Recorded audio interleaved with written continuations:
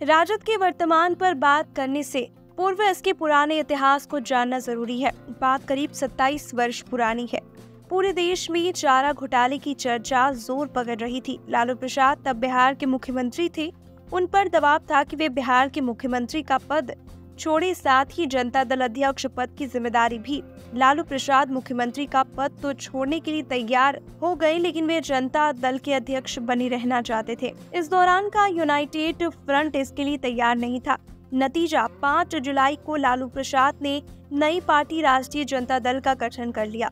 25 जुलाई उन्नीस को उन्होंने एक और दाव चला और अपनी पत्नी राबड़ी देवी को बिहार का मुख्यमंत्री बना दिया।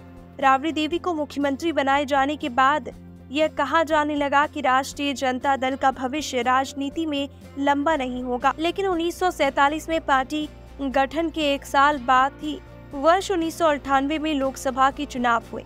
मार्च उन्नीस सौ अठानवे के राष्ट्रीय चुनावों में राजद ने बिहार में 17 लोकसभा सीटें जीती। वोट हासिल करने के मामले में भी राजद का प्रदर्शन शानदार रहा और उसे छब्बीस दशमलव छह प्रतिशत वोट प्राप्त हुए। हालाँकि साल भर बाद ही फिर से लोकसभा चुनाव की नौबत आ पड़ी। अक्टूबर उन्नीस सौ निन्यानवे के चुनावों में राजद ने कांग्रेस के साथ गठबंधन में चुनाव लड़ा। इस बार लालू प्रसाद यादव की पार्टी राजद को बिहार में जोरदार झटका लगा। राजद सिर्फ़ सात लोकसभा सीट जीत सका। यहाँ तक कि लालू यादव भी चुनाव हार गए। हालाँकि वोट प्रतिशत को देखते तो राजद के खाते में अट्ठाईस दशमलव उनतीस प्रतिशत वोट आए, यानी वोट प्रतिशत बढ़ने के बाद भी सीटों का बड़ा नुकसान राजद को हुआ। लेकिन राजद ने खराब प्रदर्शन के बाद भी हौसला नहीं छोड़ा। 2004 की लोकसभा सीटों में राजद का प्रदर्शन शानदार रहा और उसे लोकसभा की 24 सीटें मिली। उसी बाद केंद्र में 2004 में कांग्रेस के नेतृत्व वाले संयुक्त प्रगतिशील गठबंधन वाली सरकार में लालू यादव रेल मंत्री भी बनने में सफल रहे। 2004 में चुनाव में राजद का वोट प्रतिशत तीस दशमलव सड़सठ था। राजद का सर्वाधिक वोट प्रतिशत था। पाँच साल बाद 2009 के आम चुनाव में सीट साझाकरण न बनने की वजह से राजद ने यूपीए से गठबंधन तोड़ लिया। राजद ने रामविलास पासवान की लोक जनशक्ति पार्टी और मुलायम सिंह यादव की समाजवादी पार्टी के साथ नया गठबंधन बना लिया। लेकिन चौथा मोर्चा वाले इस गठबंधन में राजद का प्रदर्शन काफ़ी खराब रहा। राजद को बिहार में सिर्फ़ चार सीटें ही मिली।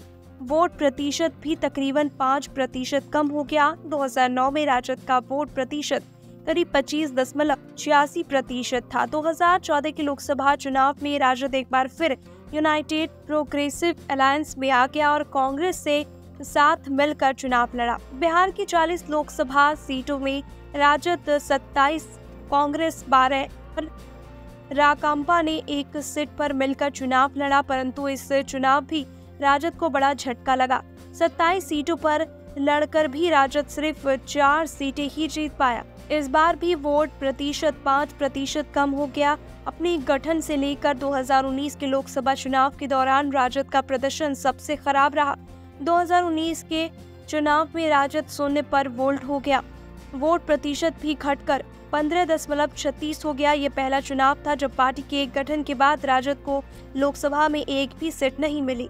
अब पार्टी एक बार फिर आईएनडीआईए गठबंधन के साथ लोकसभा चुनाव की तैयारियों में जुटी है। सीट बंटवारे पर हालाँकि पेंच है, लेकिन राजद अट्ठाईस सीटों पर चुनाव लड़ने की तैयारी में है। राजद के लिए चुनौती है, बिहार में भाजपा और जदयू के किले को ध्वस्त करना। राजग गठबंधन का पिछला प्रदर्शन बताता है। कि राजद के लिए राह आसान नहीं होने वाली क्योंकि लालू प्रसाद उम्र के उस पड़ाव पर है, जहाँ वो बहुत कुछ कर सकने की स्थिति में नहीं। लेकिन उनके उत्तराधिकारी बिहार के नेता प्रतिपक्ष तेजस्वी यादव लोकसभा चुनाव में बड़ी लकीर खींचने को लेकर प्रतिबद्ध है।